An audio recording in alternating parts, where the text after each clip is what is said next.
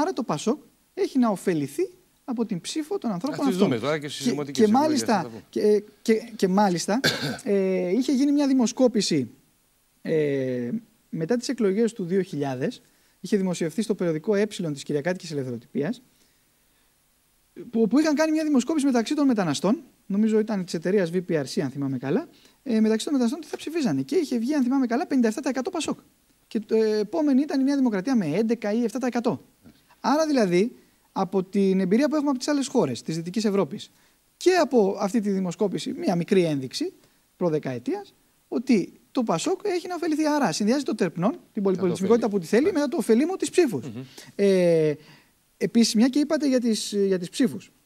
Θα το δούμε στις, εκ- ε, στις δημοτικές εκλογές σε μικρό βαθμό γιατί θα είναι λίγοι οι άνθρωποι οι οποίοι θα Έτσι. μπουν στους καταλόγους αλλά εδώ να εντοπίσουμε κύριε Μιλονάκη και μια ας το πούμε έτσι λίγο στρεψοδικία που κάνανε οι υπουργοί και τα στελέχη του Πασόκ οι οποίοι λέγανε μα πρόκειται μόνο περί 70.000 ε, ή ότι αυτές οι, οι, αυτά που προβλέπει ο νόμος αφορούν μόνο 200.000 παιδιά και οτιδήποτε. Ναι, αυτά οι 70.000 ψηφοφόροι και τα 200.000 παιδιά είναι τώρα, τώρα που μιλάμε. Θα πρέπει όμως για να είμαστε σωστοί να κάνουμε και κάποιες πληθυσμιακές προβολές Έτσι. για το μέλλον. Γιατί αυτοί οι άνθρωποι είναι εδώ τώρα ως πληθυσμός Χ, έχουν κάποια γεννητικότητα Ψ και άρα θα πρέπει να δούμε πού πάει. Και μία ένδειξη για το πού πάμε πληθυσμιακά μας δίνει ε, μία μελέτη, μία πρόβλεψη πληθυσμιακή του πρώην ε, ε, Ευρωβουλευτή και Υπουργού που προέρχεται από το συνασπισμό του Μανώλη του Δρετάκη ε, ο οποίος τη δημοσίευσε στην εφημερίδα Ελευθεροτυπία 3 Δεκάτου του 2009 ο οποίος προβλέπει ότι αν συνεχιστεί αυτή η ροή μεταναστε- μεταναστών στη χώρα μας όπως είναι μέχρι τώρα συν τη γεννητικότητα θα φτάσουμε το 2060 δηλαδή σε 50 χρόνια από σήμερα στις δυναμικές ηλικίες, οι οποίες είναι ηλικίες από 0 έως 14 ετών και από 15 έως 64 ετών, Ναι. η πρόβλεψη του κυρίου Δρετάκη είναι ότι στην ηλικία από 0 έως 14 οι μετανάστες θα αποτελούν το 32% του πληθυσμού το 2060 και στην ηλικία, στις ηλικίες από 15 έως 64 το 29%. Μάλιστα. Άρα δηλαδή μην βλέπουμε μόνο φωτογραφικά την κατάσταση όπως είναι Και αν τώρα. πάμε ακόμα περισσότερο, Ναι, θα και- δούμε ότι θα έχουμε 50-50. Όχι, μα και να σας πω και κάτι. Και επίσης, θα- ο ελληνικός πληθυσμός γερνάει. Οπότε αυτό το δηλαδή λέω, θα ναι. φτάσουμε σε κάποιες ηλικίες που είναι οι δυναμικές ηλικίες. Δηλαδή μπορεί εμείς να υπερτερούμε σε συνταξιούχους ή σε άνω των 50 και να υστερούμε σε ηλικίες ας πούμε κάτω των 15. Γιατί, γιατί αυτοί θα γεννάνε, αυτοί θα έρχονται, θα αυξάνονται ενώ εμείς θα μειωνόμαστε. Και γι' αυτό είναι εντελώς ε, χαζό, τολμώ να πω, αυτό το επιχείρημα που ακούω ότι με τη μετανάστευση και δει με τη μετανάστευση όπως έχει γίνει στην Ελλάδα, δηλαδή παράνομη ζωή και νομιμοποιώ εκ των υστέρων, ότι θα λυθεί το δημογραφικό πρόβλημα της χώρας. Αυτό είναι όχι απλά για γέλια, είναι, είναι τραγικό αυτό που λέγεται από επίσημα χείλη, γιατί στην ουσία δεν πρόκειται περί επιλύσεως του δημογραφικού προβλήματος, αλλά πρόκειται περί αντικαταστάσεως του Αντικατάσταση, γηγενούς ναι. πληθυσμού με κάποιον άλλον πληθυσμό. Δηλαδή, άμα ήταν τόσο εύκολα, κύριε Μιλονάκη, να βάλουμε μερικά σε 130, να πάνε, ξέρω εγώ, στην Ινδία ή στην Κίνα που έχουν υπερπληθυσμό, να φέρουν ένα εκατομμύριο κόσμο και να πούμε ότι μέσα σε μια εβδομάδα λύσαμε το πρόβλημα της γεννητικότητας. Αντικατα... Αντικαθίσταται λοιπόν. Αντικαθίσταται γηγενής ο γηγενής πληθυσμός. πληθυσμός με έναν άλλο πληθυσμό. Αυτό συμβαίνει στην πραγματικότητα. Ε, και μάλιστα για να δούμε πόσο πιο δύσκολη, δύσκολες είναι οι, οι παράμετροι του προβλήματος στην Ελλάδα είναι ότι βγαίνει η κυβέρνηση λοιπόν και λέει ωραία κάνω εκ των υστέρων νομιμοποιήσεις που γίνανε στις προηγούμε, τα προηγούμενα χρόνια δίνω τώρα και την ηθαγένεια και προσέξτε όμως που διαφέρει ο πληθυσμός το μεταναστευτικό της Ελλάδας σε σχέση με τον πληθυσμό της Ευρωπαϊκής Ένωσης γενικά το μεταναστευτικό. Καταρχάς, η Ελλάδα πρέπει να είναι η μόνη χώρα της Ευρωπαϊκής Ένωσης όπου οι μετανάστες που έχει και βρίσκονται νομίμως στη χώρα είναι στη συντριπτική τους πλειονότητα παράνομοι που νομιμοποιήθηκαν στο- εκ των υστέρων. Αυτό δεν, δεν υπάρχει σε καμία άλλη χώρα. Αλλά ο μέσος όρος πληθυσμιακά στην Ευρωπαϊκή Ένωση των αλλοδαπών, κοινοτικών και μη, είναι 6,2. Μάλιστα. Στην Ελλάδα επισήμως είναι 8,1. Άρα αυτομάτως, σε σχέση με τις άλλες ευρωπαϊκές χώρες, έχουμε μεγαλύτερο ποσοστό αλλοδαπών σε σχέση με το ποσοστό του πληθυσμού μας. Και ένα ποιοτικό στοιχείο ότι αυτοί που προέρχονται από χώρες εκτός Ευρωπαϊκής Ένωσης, άρα κατά τεκμήριο θα είναι και πιο δύσκολο να ενσωματωθούν. Για την Ευρωπαϊκή Ένωση είναι 3,9, ενώ για την Ελλάδα είναι 6,7. Διπλάσιο. Άρα δηλαδή έχουμε και πιο πολλούς μετανάστες και μετανάστες που, δι, που, που κατά τεκμήριο θα ενσωματωθούν δυσκολότερα.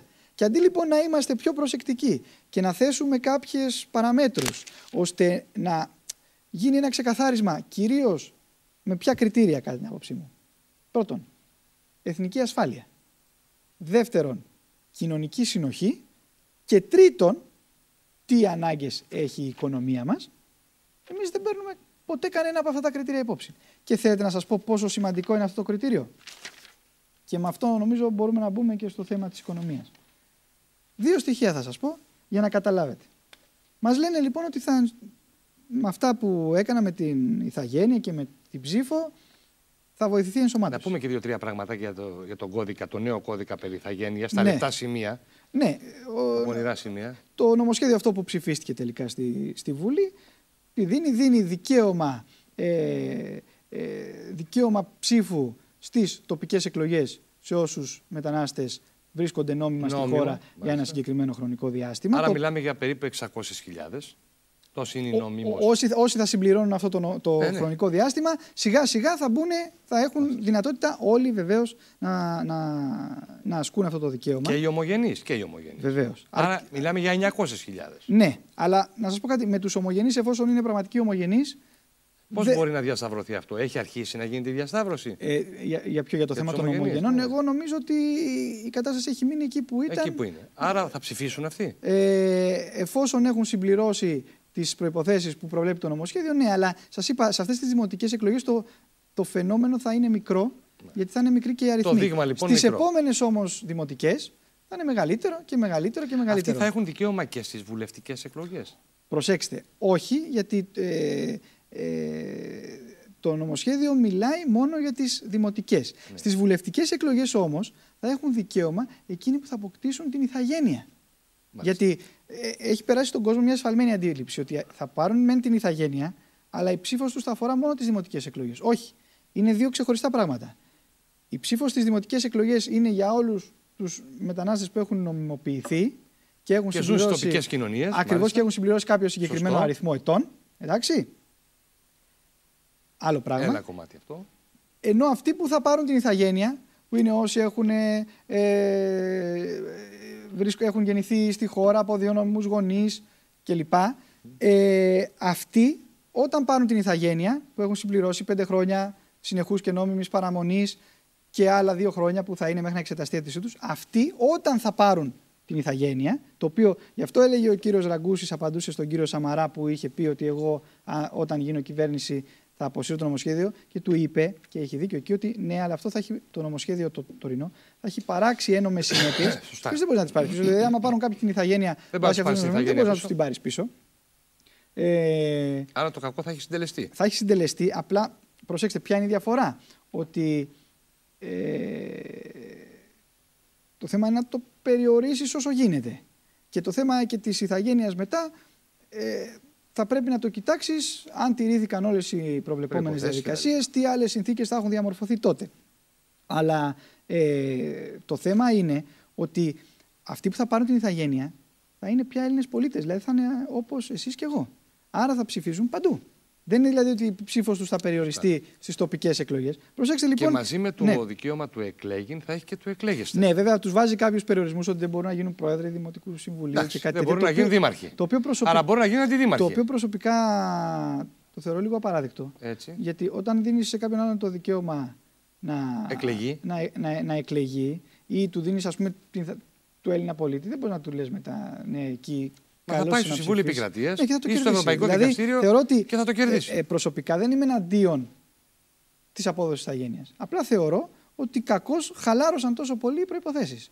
Θα πρέπει όποιοι αξίζουν να πάρουν την ηθαγένεια, θα πρέπει να την πάρουν, αλλά αυτό θα είναι το τέλος της διαδρομής. Δηλαδή, αφού πρώτα Μάλιστα. έχουν ενσωματωθεί και τα συμφέροντα, τα συμφέροντά τους και η νοοτροπία τους συμβαδίζει με τα συμφέροντα και με την νοοτροπία της χώρας, τότε πολύ ευχαρίστως να πάρουν την ηθαγένεια. Όχι όμως πριν, δεν θα τους τη δίνω πριν για να ενσωματωθούν μετά. Και αν δεν ενσωματωθούν, τι θα γίνει, πώς θα, δεν μπορώ να τους το πάρω εγώ αυτό που τους έχω δώσει. Λοιπόν, ε, Άρα θεωρώ ότι χαλάρωσαν πολύ τα κριτήρια για την ηθαγένεια και αυτό θα είναι ένα πρόβλημα που θα το βρούμε μπροστά μας στο μέλλον. Αλλά για το θέμα των κριτηρίων που λέγαμε και κυρίως του πόσοι χρειάζονται, θα σας πω τα εξής. Λένε λοιπόν ότι αυτοί οι άνθρωποι θα ενσωματωθούν. Και σας διαβάζω εγώ το εξής στοιχείο. Στοιχεία της Εθνικής Στατιστικής Υπηρεσίας για το τρίτο τρίμηνο του 2008. Ναι. Είναι, δημοσιεύτηκε στο βήμα 19-12 του 2009.